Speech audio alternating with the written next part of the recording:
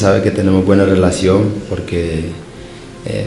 por supuesto pues que es un amigo de nosotros, eh, desde antes pues de, ser el alcalde de Guachené,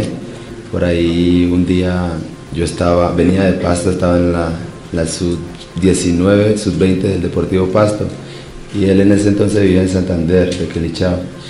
y nosotros, yo venía con un compañero de Pasto, eh, con las maletas, veníamos así cargados, no teníamos para dónde ir estábamos llamando a mi papá, pero mi papá en ese momento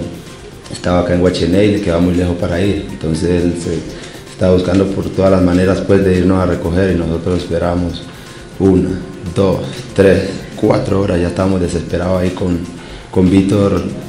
Víctor Mejía, Pechuga, que ahora está en Venezuela. Y bueno, ahí es donde apareció el alcalde, Tino.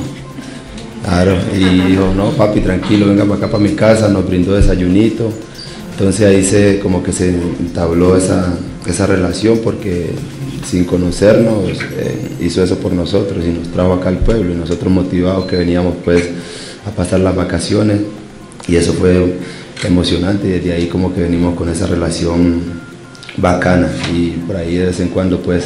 nos hablamos, eh, nos llamamos y, tenemos buena relación y queremos ayudar, así que por el momento está todo, todo ok, todo bien, esperemos que ya se comprometió aquí delante de ustedes, si no pues yo les digo para que, para que por ahí le digan. Y no, yo creo que, todo, todo va a salir bien y vamos a crecer mucho con, el alcalde porque, porque prácticamente está siempre reunido con mi papá y